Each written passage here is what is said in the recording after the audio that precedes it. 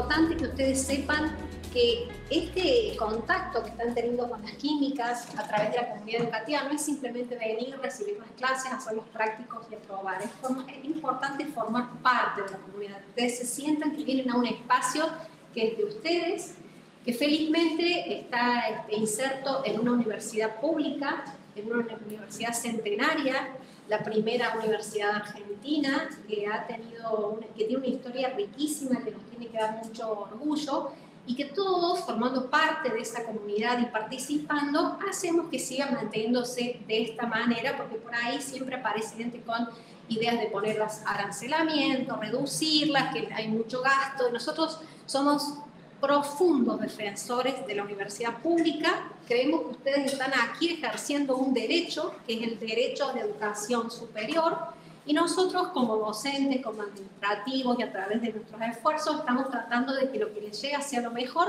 ¿Por qué?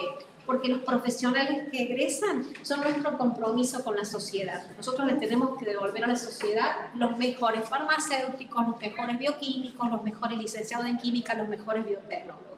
Entonces es un compromiso mutuo y, esa, y esta universidad pública se defiende estando presente en estos espacios, entendiendo cómo es el sistema y sugiriendo y haciendo demandas que van a ser legítimas. Si ustedes tienen dificultades, aquí estamos todos eh, un gabinete que tiene distintas áreas, ustedes están muy vinculados con la Secretaría de Asuntos Estudiantiles, con el área académica, eh, de, la que dependen muchas de las oficinas con las que ustedes pasan y van a, a solicitar cosas. Bueno, cuando hay problemas, nosotros tenemos que saberlo, ustedes los tienen que hacer llegar a través de la Secretaría de Asuntos Estudiantiles para que trabajemos y los mejoren. Y bueno, ustedes saben que la química se aprende con mucho esfuerzo, con mucha dedicación, es una disciplina fascinante.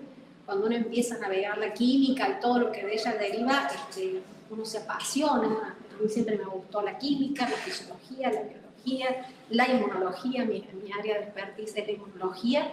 Y, es, importante estar en una comunidad de gente que está motivada, que está motivada y que participa de otras actividades que van a ir apareciendo, apareciendo a lo largo del semestre, como para tenerlos siempre cerca.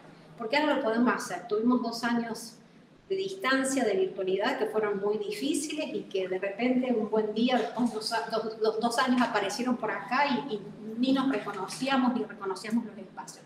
Bueno, ahora podemos estar acá, apropiarnos y bueno, esperamos verlos todo el cuatrimestre y si tienen dificultades acudan a los sitios de ayuda, no traten de no abandonar, este, traten de, buscar ayuda, de buscar ayuda en los espacios que están destinados para tal cosa, para, ese fin y sepan que cuentan con nosotros. Nos encanta que hayan elegido la química y bueno, esperamos algún día recibirles, un, día no muy lejano estar entregándoles el título en, el, en, la sala de muy bienvenidos, muchos éxitos.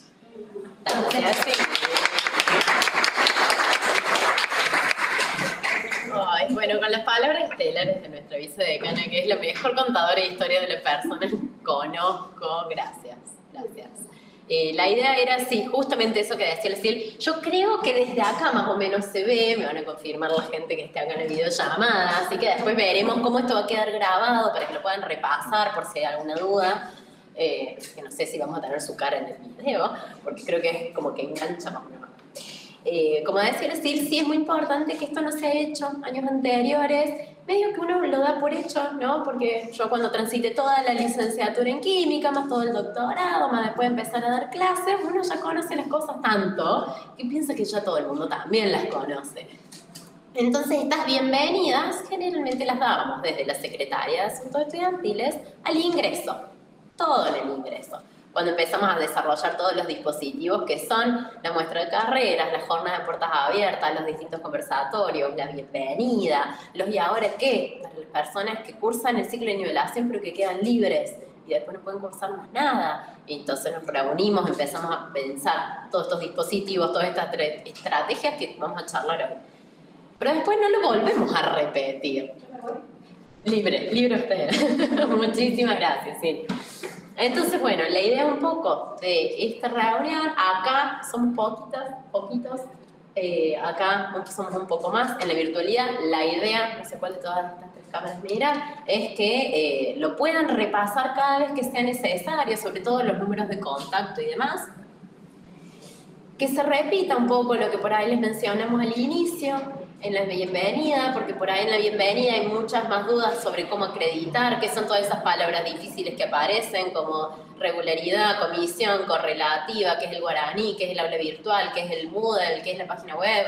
Entonces, desentramar un poco toda esa información que llegó en ese momento, pero quizás no estaba siendo tan jerarquizada ni tan importante como lo puede ser ahora. Así bueno, vamos a aprovechar a hablar un poco. La idea de esto es medio conversatorio. Tenemos medio una presentación como para acordarnos de las palabras claves y las cosas más importantes para comunicarnos. Voy a estar parada acá solamente arriba por cuestiones de formatos, nos vean las caras quienes están acá virtualmente. Y eh, comenzamos entonces. Dudas existenciales. ¿Alguien sabe quién soy? ¿No? De la gente que trabaja en la facultad. ¿Más o menos? Ubican como qué, qué, qué, área es la que está acá convocando, llamando. ¿Quién es? ¿Qué, qué soy?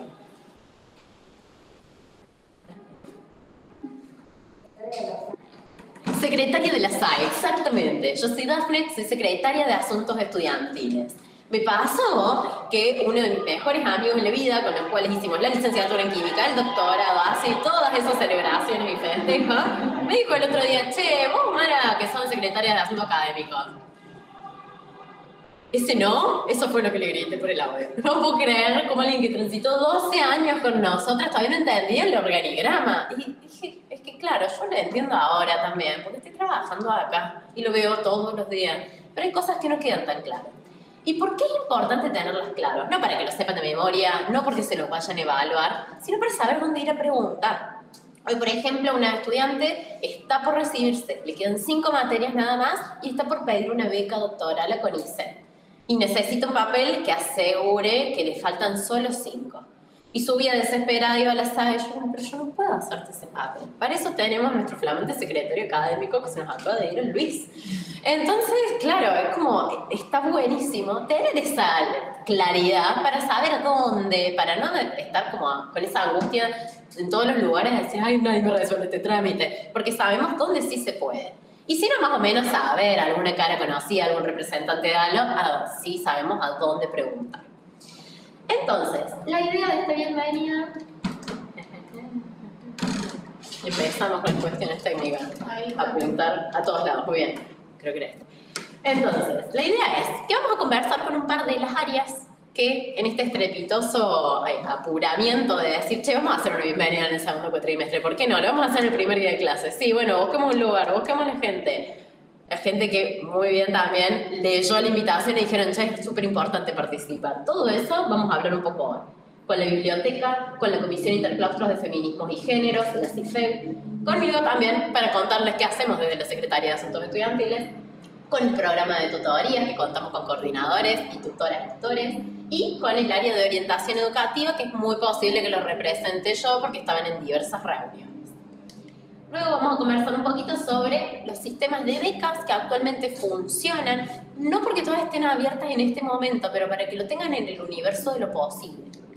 Y el procedimiento para el régimen de estudiantes, trabajadoras, trabajadores, gestantes y o con personas a cargo, que es súper importante que lo conozcan, más allá de que lo vayan a utilizar o no, pero siempre es información que está buena tener, porque con la información tenemos un gran poder saber cómo podemos hacer esto que decía Sil. No abandonen. Sí, suena hermoso.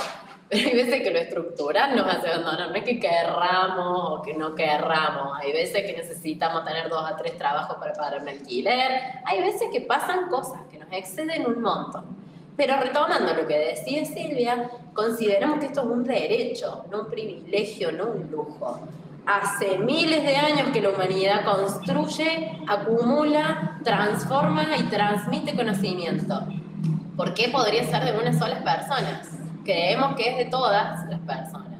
Queremos que todo el mundo tenga acceso.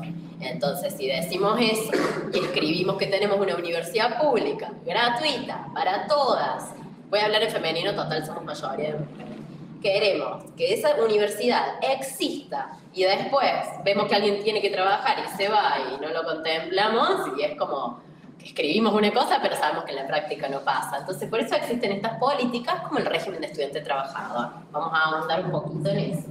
Y después, para hablar dos, tres palabras de las inscripciones a los cursados. Tanto que si tienen el certificado único de trabajadores y trabajadoras o si no.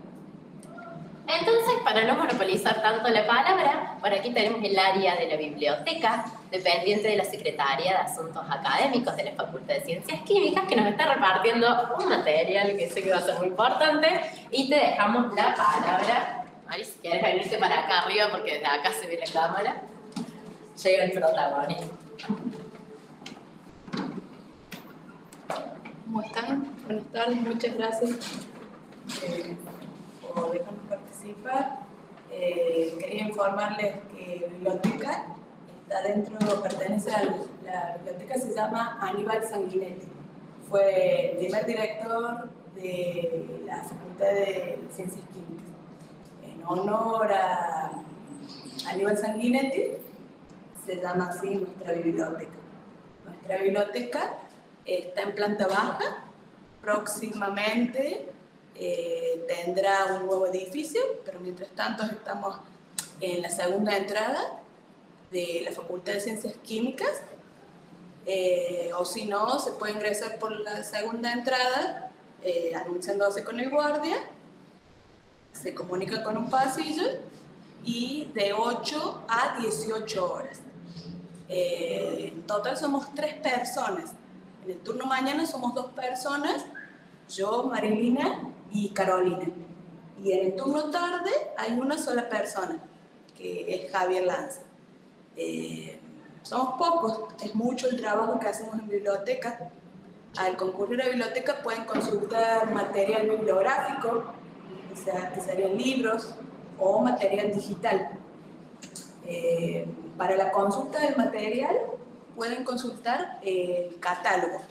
Ahí hay un el folleto que se le entregamos, hay un link al catálogo. El catálogo pueden buscar por autor, por título o por tema.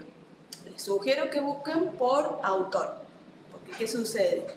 Ya si buscan por un tema en general, la búsqueda es muy general, entonces arroja una cantidad de registros inmensos.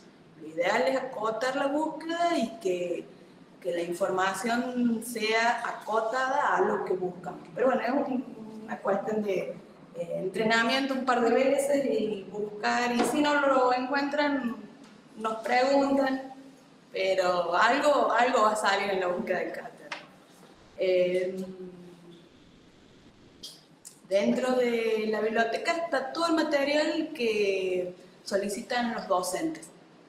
Eh, ustedes seguramente van a tener un, una aura virtual, una guía de la bibliografía en esa guía ustedes pueden consultar por autor, por título y esa misma información está en la biblioteca.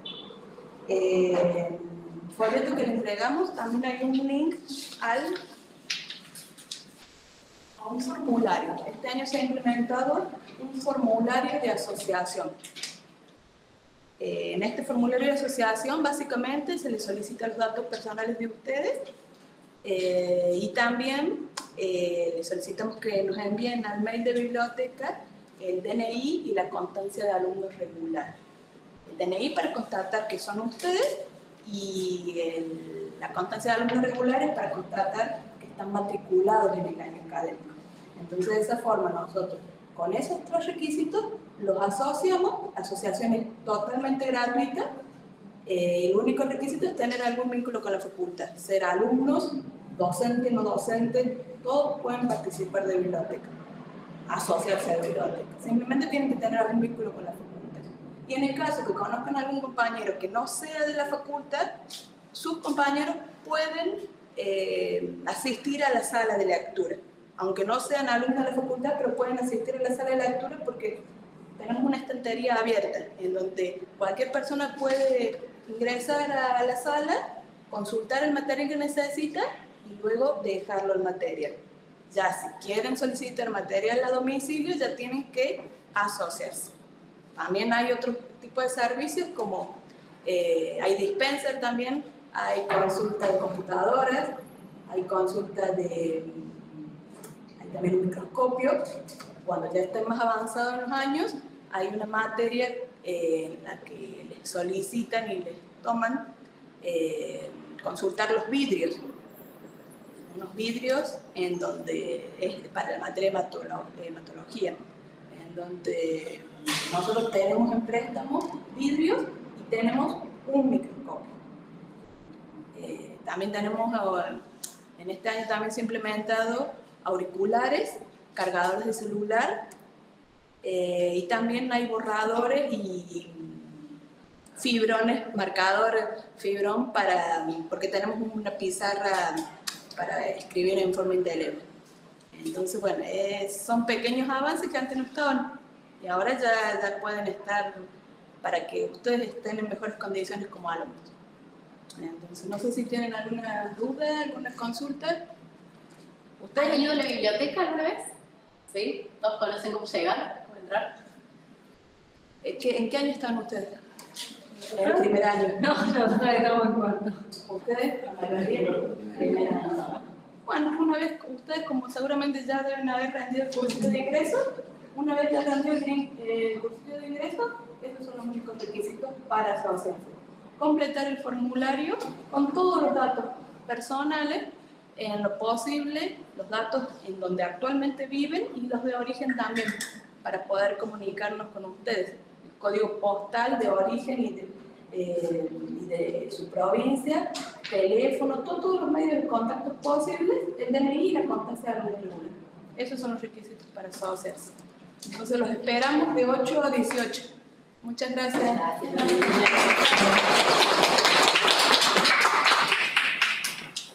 Bueno, buena la pregunta que hicieron. ¿Quiénes son de primer año entonces? ¿De segundo? Ah, ajá. ¿Tercero?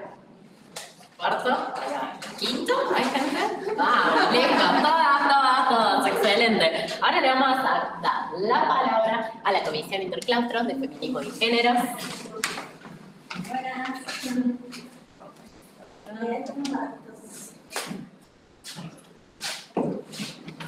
Bueno, Hola, ¿qué tal? Primero que nada me presento.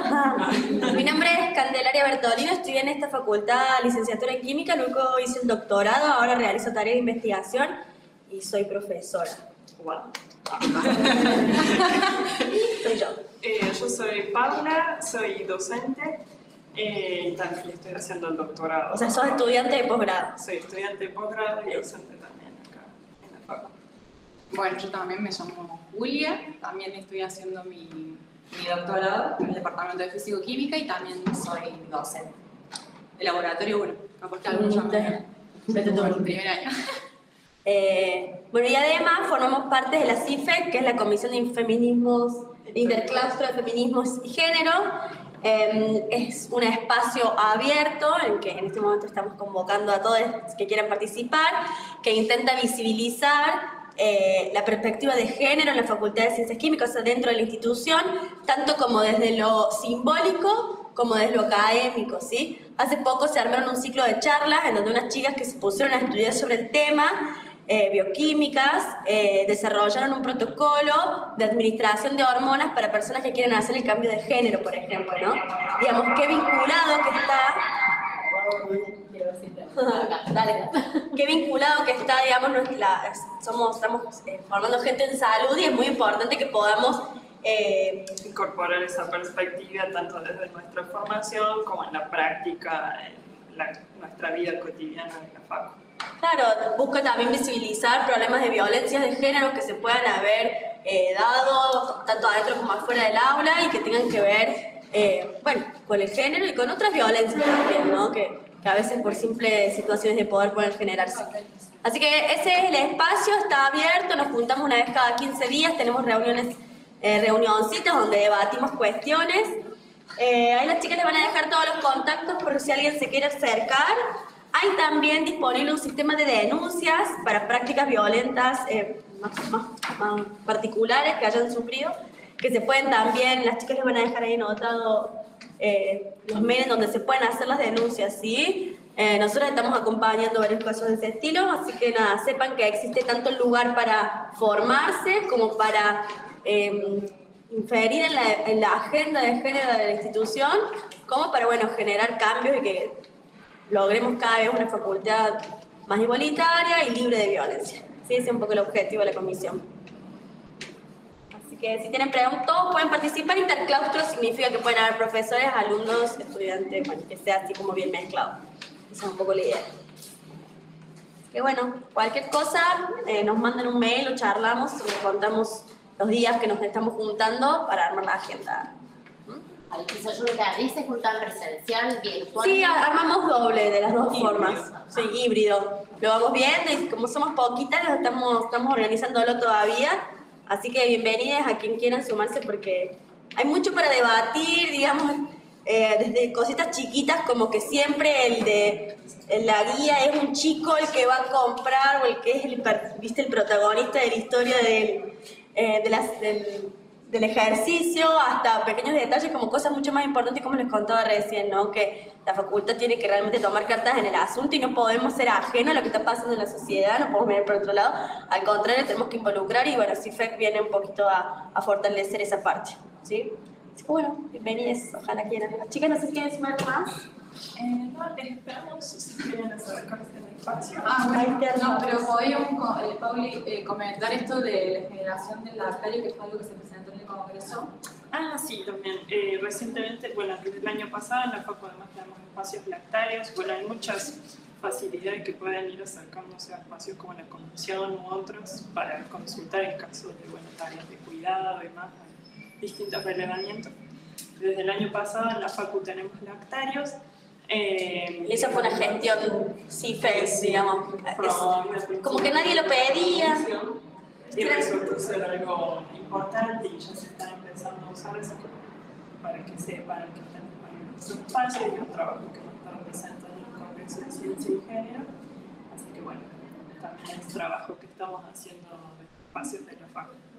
Bueno, básicamente eso, la idea es que, que si tienen alguna inquietud, algo que les parezca como una semillita para empezar a visibilizar cosas, como que sea este el espacio para empezar a charlar y generar actividades, charlas.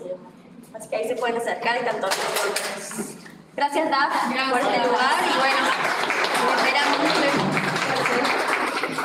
esperamos. Bueno, después ahí sí vamos a copiar todo esto para que se vea, porque creo que está ahí más o menos en, el, en la videollamada. Así seguimos ahí pasando toda esa info. Ahora me van a tocar a mí. Entonces, bueno, desde ahora se va a hacer un poco más eh, monólogo. O la misma voz en realidad. Un ratito y después ya lo hacemos una mezcla de nuevo. Bueno.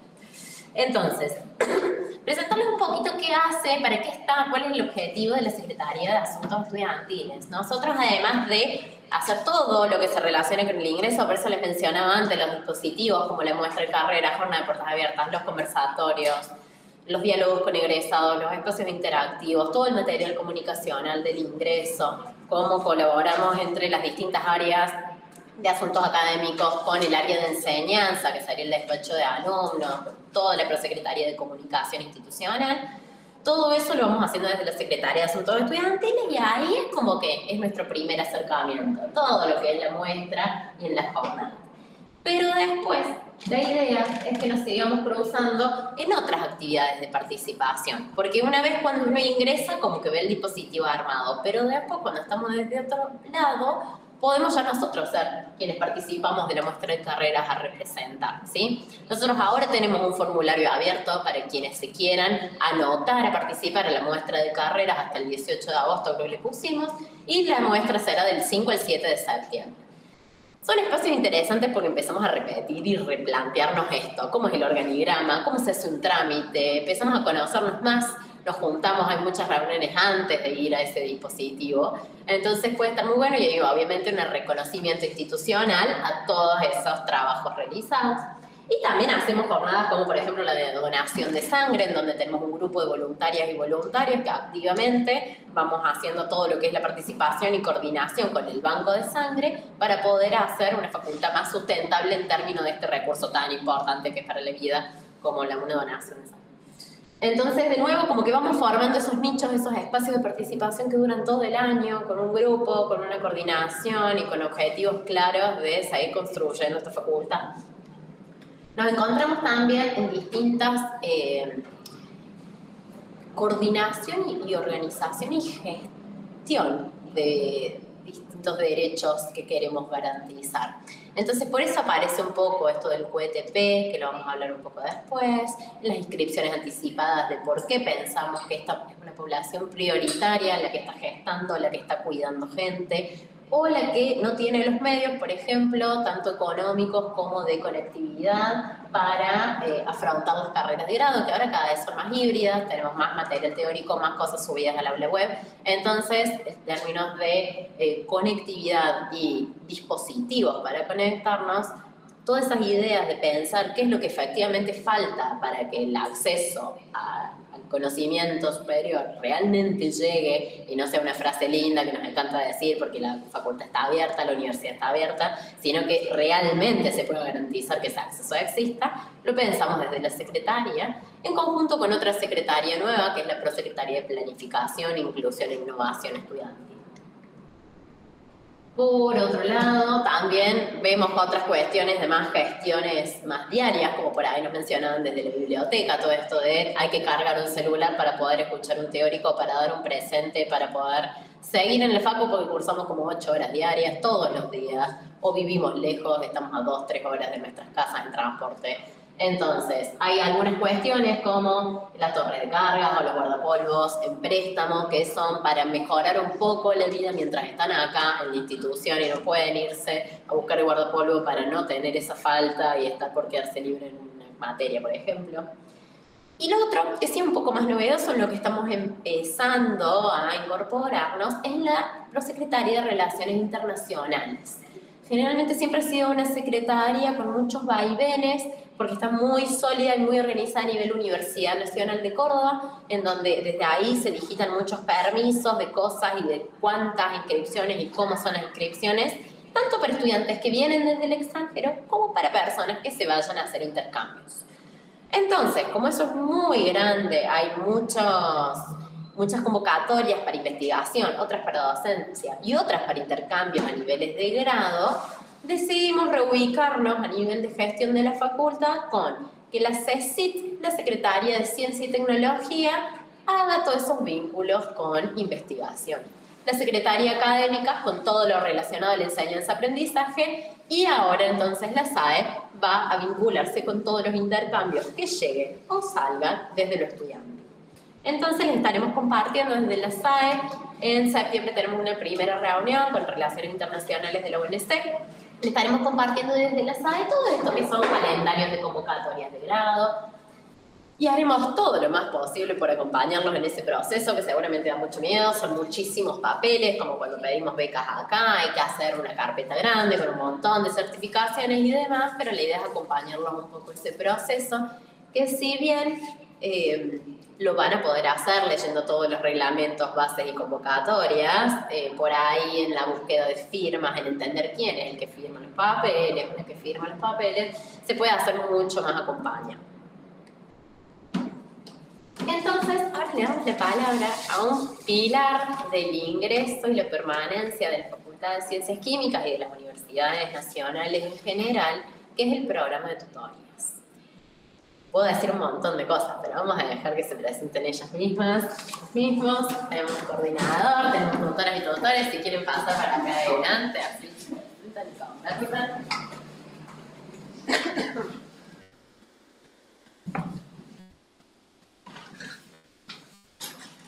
Bueno, buenas a todos, a todas, ¿cómo andan? Están muy callados. Muy primer día, mucho silencio. Presento yo y después le doy la palabra a ellas, que son, a ellas, que son las que trabajan más. Eh, mi nombre es Jesús Alberto Vila, eh, soy coordinador del programa de tutorías, también estoy hace bastante acá dentro de la facultad, soy licenciado, después hice un doctorado y actualmente estoy involucrado en lo que es la docencia y justamente en acompañar la coordinación del programa de tutorías. Hay otra coordinadora que es Consuelo, también con una trayectoria bastante larga dentro de la facultad, que está en su lugar de trabajo en este momento, por eso nos puede acompañar. La idea es darles a conocer a aquellos que no conocen el programa de tutorías ¿sí? y que lo puedan habitar. Habitarlo no implica que tengan que cursar o hacer algo que por ahí es lo que estamos más acostumbrados dentro del ámbito académico. Sí, pero para que se lo definan un poco mejor, les voy a dar la palabra a ellas tres. Sí, que son parte del nuevo equipo de tutorías que arranca ahora desde la semana que viene a estar habitando junto con ustedes el programa. Vengan más acá, si los, chicos nos cuentan. Sí, sí, sí, ahí me están quitando todos los controles de, la así que entrandaba. Ah, bueno. Bueno, nosotras somos tutoras, eh, en total los tutores que vamos a estar este cuatrimestre y probablemente el, que siga también somos 10. Eh, bueno, acá estamos tres representando. Eh, si nos siguen en las redes, que bueno, ahí está el arroba de Instagram, es donde publicamos todos los horarios, donde vamos a estar presentes en la salita. ¿Saben dónde está la sala de tutorías? Está en el primer piso. Eh, apenas suben la escalera, ahí a, digamos, suben la escalera y ahí a mano izquierda está eh, la salita de tutorías. Eh, y es un aula que la puede, como dijo Albert, la pueden habitar tanto para cuando estemos nosotros como cuando no. Si no hay ningún tutor disponible, pero igual quieren usar ese espacio para juntarse a estudiar como grupo, eh, por ahí, digamos, eh, sabemos que tienen también esta herramienta de la biblioteca, que ya la presentaron, pero eh, por ahí la biblioteca hay que estar como en silencio y cuando se juntan en grupo es por ahí un poco más cómodo juntarse en la sala de tutorías. O bueno, también si tienen dudas en los horarios en los que estamos nosotros, pueden preguntarnos dudas de lo que necesiten, eh, principalmente todas las materias de primero y segundo año.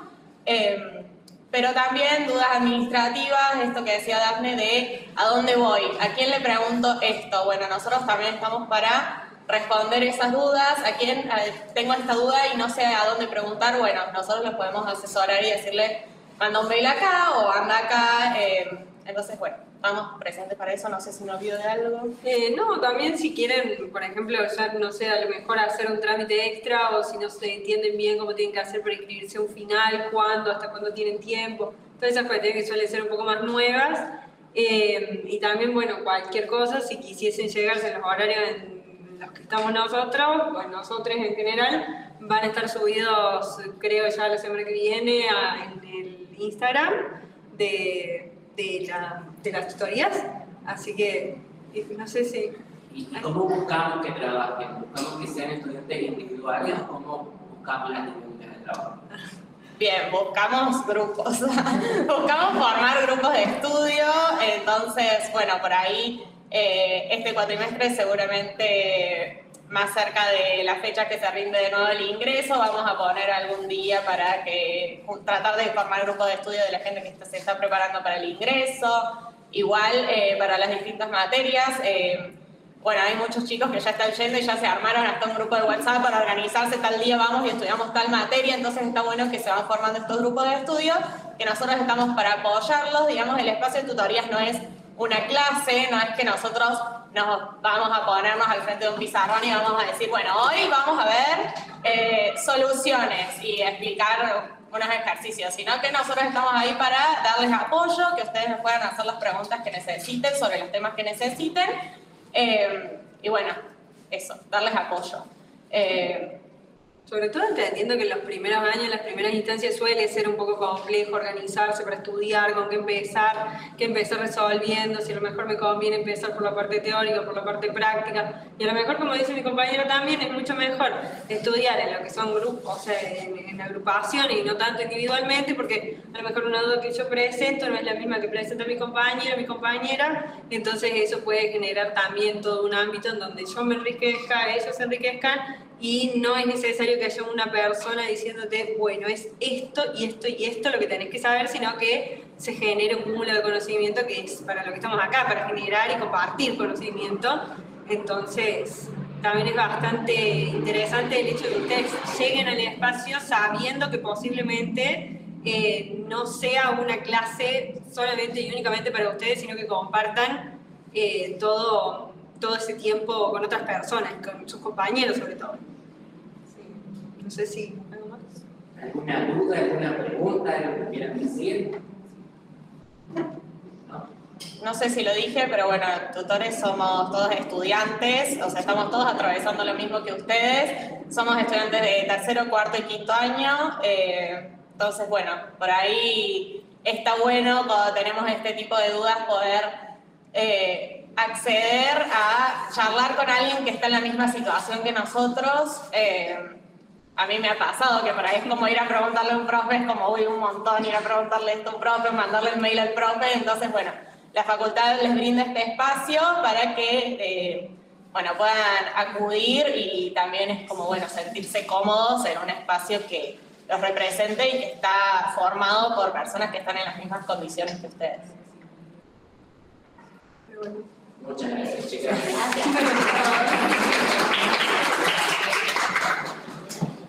Bueno, y ahora sí continúo, continúo, continúo. Cualquier duda, cualquier consulta, ustedes me frenan o me interrumpen. Ahora ya sí paso la parte que más me importaba, que era de coordinar con diferentes actrices o actores, agentes, esta conversación. Entonces ahora sientan la libertad de ir interrumpiendo, levantando la mano, como ustedes saben. Hay otra área que es sumamente importante, que es muy, muy, muy, muy clave para la FACU, que es el área de orientación educativa. ¿Sí? Y-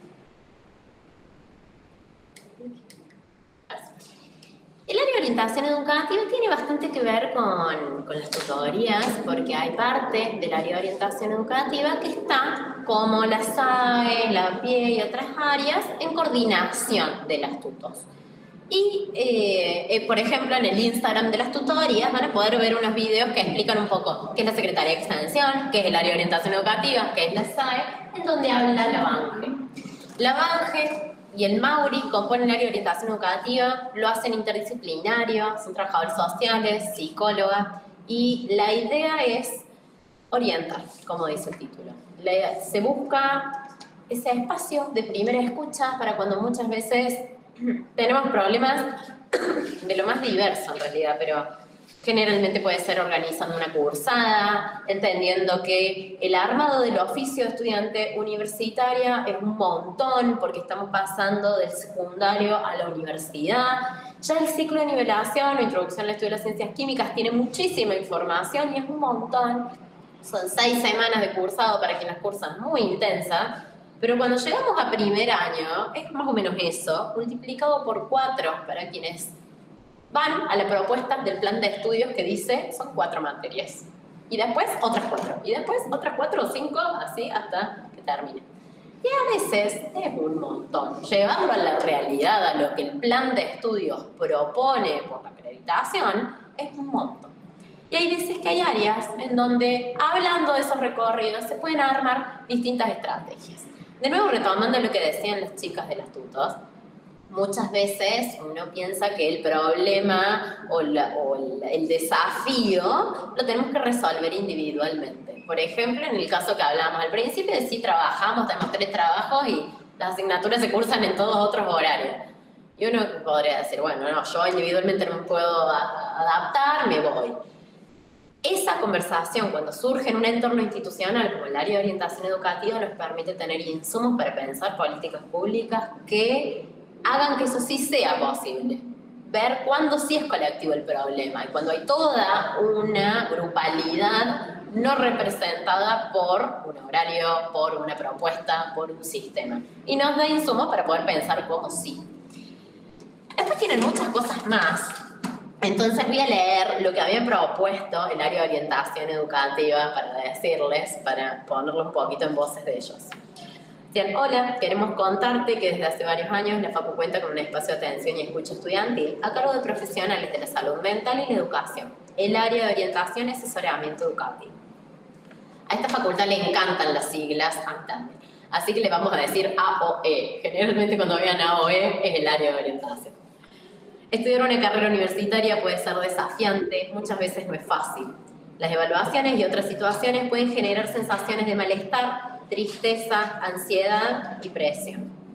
Aunque son experiencias muy comunes, en ocasiones podemos sentir que nos cuesta afrontarlas y afectan en la salud física y la salud mental. Si necesitas acudir al espacio, acércate o escribinos para acordar una entrevista al mail. Aquí te escuchamos, podemos orientarte y pensar juntas esas situaciones.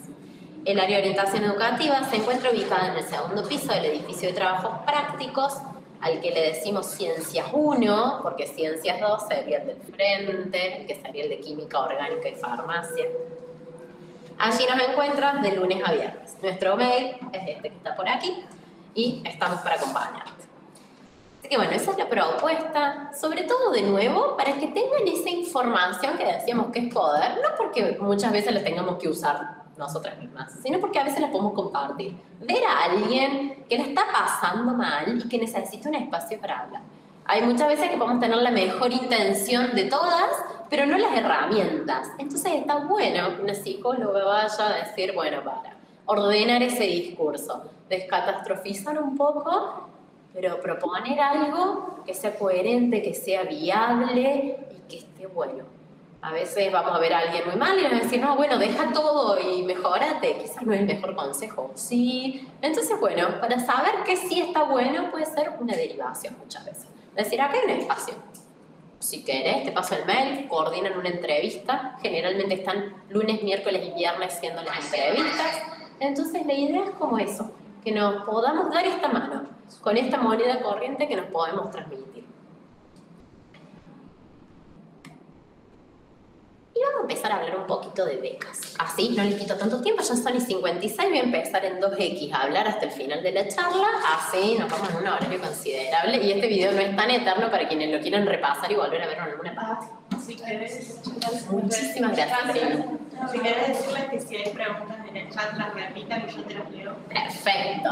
Si hay alguna pregunta por el chat, tenemos un equipo de historia fantabuloso que nos va a estar contestando las preguntas. Por acá no había visto nada.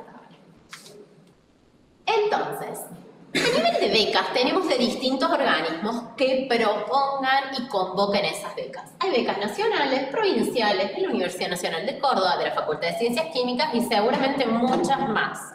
Estas son las más masivas, las que más contacto hemos tenido en este año que he sido secretaria de Asuntos Estudiantiles, por eso se las quería resumir un poco. Entre las nacionales hay dos. Una ex bicentenario, actualmente se llama Manuel Belgrano, y es muy interesante porque plantea un sistema de becas de carreras estratégicas.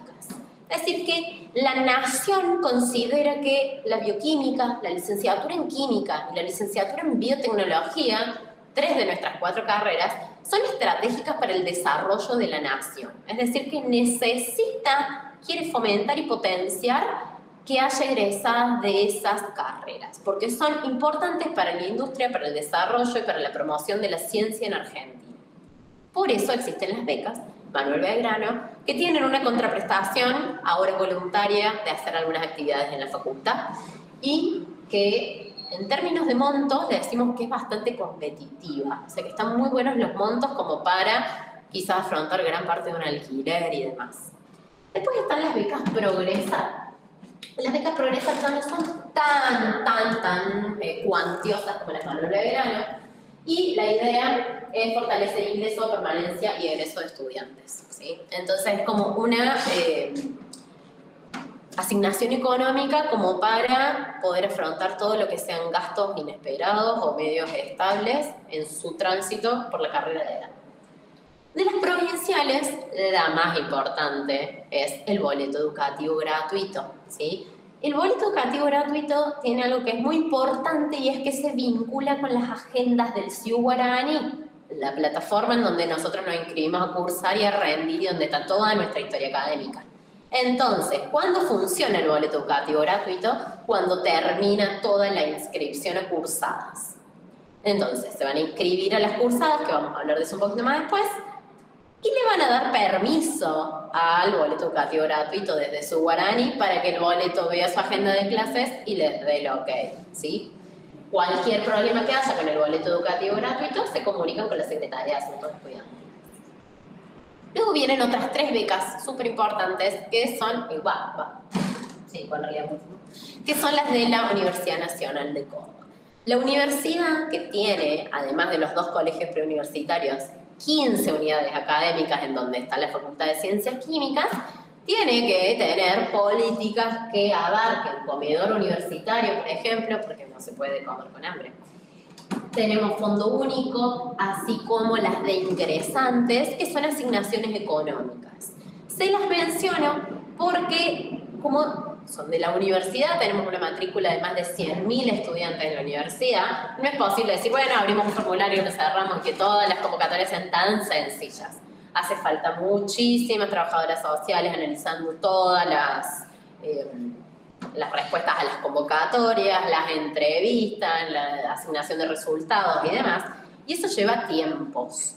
Entonces, estas becas suelen abrirse más o menos agosto, septiembre, octubre, como las de ingresante, para impactar el año que sigue. Entonces, para, más que para decirles están estas becas, para que tengan los nombres en el universo de lo posible. También está el Jardín de Odoro, que es para estudiantes, madres, padres o gestantes que tengan eh, niñas de 3 meses hasta 3 años de edad. ¿Qué pasa con el Jardín de Odoro? Obviamente también es pequeño para una matrícula de 100.000 personas. Entonces hay que estar atentas a los horarios, cuándo son las inscripciones. Y generalmente también tienen turnos. Entonces, los turnos de la mañana y la tarde son los que más se ocupan y generalmente sí hay más huequitos por la noche.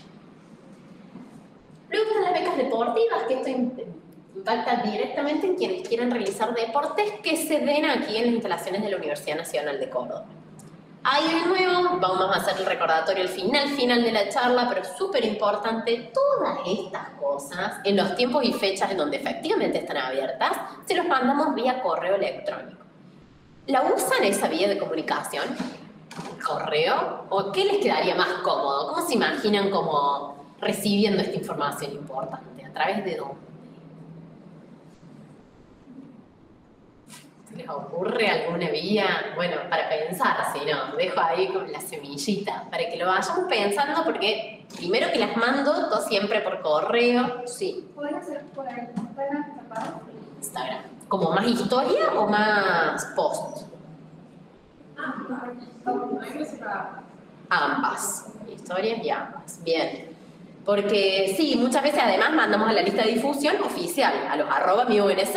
Entonces, quien abre Gmail todos los días de su vida le está pasando el, el mi UNC por otro lado y, o llega tarde. Que eso también, muchas veces yo pensaba, ay, ¿por qué nunca nos avisan con tiempo? Y después ahora veo que las convocatorias te llegan con un día de anticipación y está o no compartirlas para nada o compartirlas diciendo se vence mañana.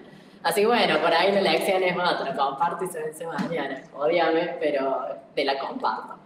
De nuevo, también muchas veces está bueno para que quede en el universo de lo posible. Entonces hay una beca internacional para Madrid y bueno, guardaron one. Entonces ahí ya después googlean y otra vez la agarran sí con tiempo, por ejemplo. Y otra que les quería mostrar es que como conectividad o dispositivos electrónicos también existen las becas de conectividad y estudiantes en línea. Está un poco más interesante esta porque es una notebook en Comodato. Y Acá dicen los canales de difusión de Instagram, y esos nuevos. Bien. Bien. Sí, hay que empezar a activar donde les lleguen efectivamente las cosas, si no yo me mato escribiendo mail y después no le llega a nadie, como no, tenemos que lograr esto para que estén el día con esto. Como nosotros tenemos muchísimas eh, actividades prácticas que hacen que generemos informes, suele ser interesante pensar en estos dispositivos o en las computadoras de la biblioteca, porque hay momentos en donde hay que hacer trabajos colaborativos y efectivamente producir. Entonces es interesante que si no lo tienen y están resolviendo con celular, sepan que no es la única opción. Y por otro lado, ahí ya sí nos vamos a casa, a las becas de la FACU. Por supuesto que todos los sistemas de becas, cuando voy hablando de nación, provincia, universidad o facultad, dependen de los presupuestos que uno tenga. Y ahí es donde empieza a jugar la realidad donde uno imagina un montón, un sinfín de políticas públicas que van a permitir garantizar el ingreso, permanencia y egreso de todo el estudiantado, y se topa con que, bueno, la plata que hay es esta, y que esto es obligatorio, y que esto también, y que esto también, y entonces, ¿a quién le sacas plata para usarlo en otras cosas? Sobrar no sobra. Entonces, si todo se está usando es porque va a algo.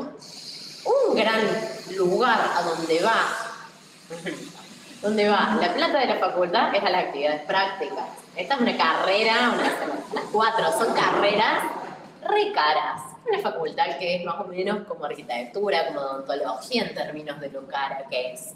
Pero a diferencia de otras facultades, además de que consideramos de que no corresponde, sería muy difícil que tengan que ir a comprar su propio acetato de amonio, uno molar, en condiciones eh, de fluorescencia. O sea, está muy difícil. Hay otros que son cedronar, entonces directamente no van a poder comprarlo. Ácido clorhídrico, acetona, no lo van a poder comprar. Entonces esa carga va a la FAC.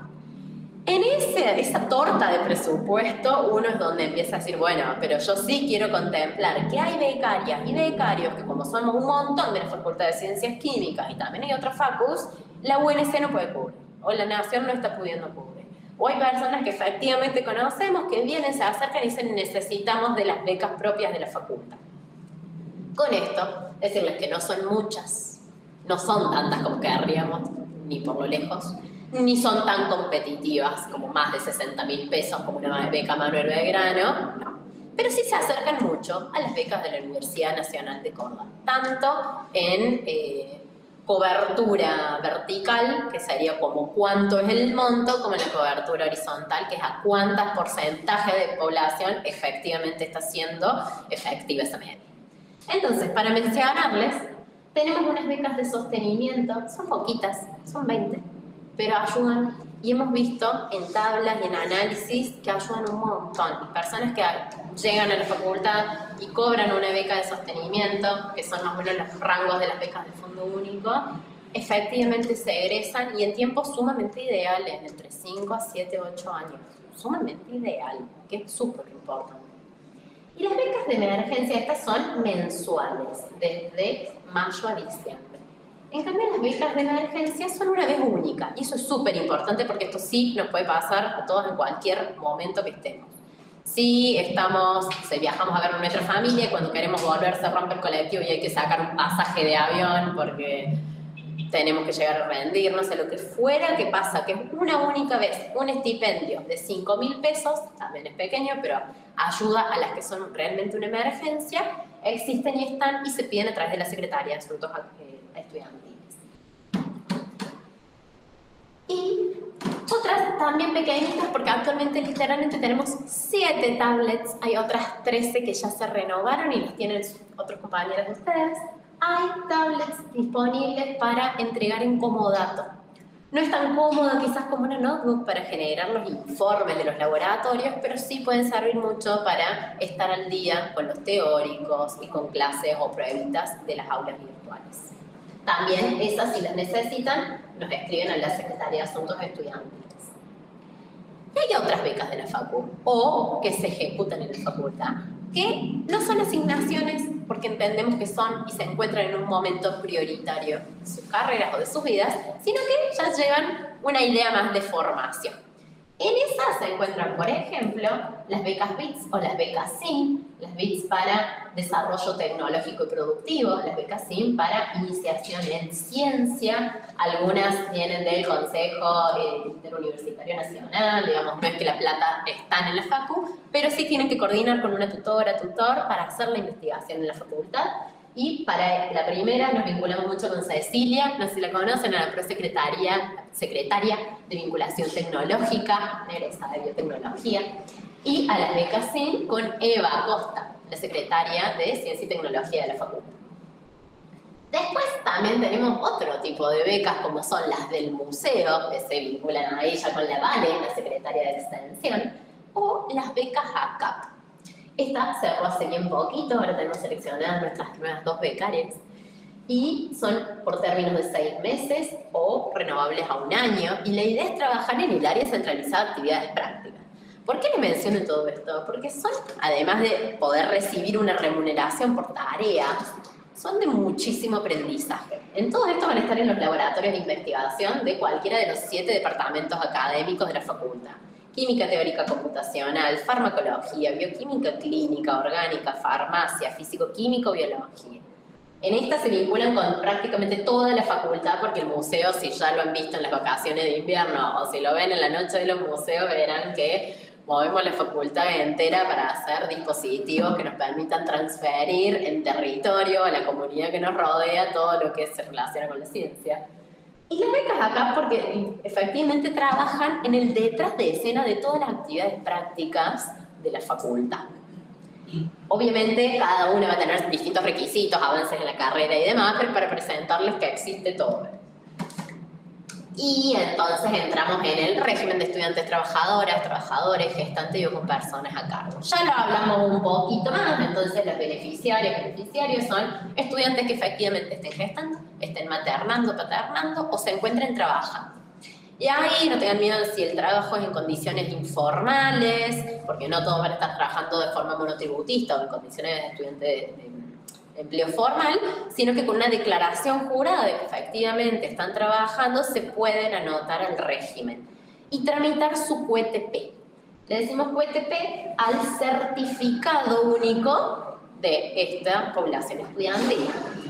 Los plazos están abiertos todo el año. En cualquier momento del año se puede empezar a trabajar, se puede empezar a gestar, así que por eso no hay una fecha límite. Sí, para acceder, por ejemplo, a las inscripciones anticipadas, hay un límite. Entonces, quienes tramitaron el UTP hasta el 19 de julio podían acceder en esta semana, hoy, mañana y pasado, a las inscripciones anticipadas. ¿Por qué se hace eso? Y porque entendemos que si están trabajando y desde el lugar de trabajo no te van a cambiar los horarios para que puedas cursar, lo único que queda es que llegues a poder inscribirte en una comisión donde haya lugar. ¿Por qué les decimos esto?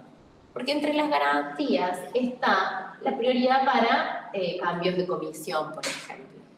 Pero solamente podemos ejecutar un cambio de comisión si hay lugar en la comisión a donde quieren ir y ese lugar se reserva más fácilmente si hicieron una inscripción anticipada. Si no, vemos cómo resolver esos cambios, pero apelando muchas veces a que alguien más se mueva. Entonces, bueno, después también, de nuevo, siempre un llamado a la empatía, si tienen alguna compañera o compañero que está en aprieto y necesita esa comisión, bueno, y se levante de mirada y verse entonces a ver qué se puede hacer efectivamente.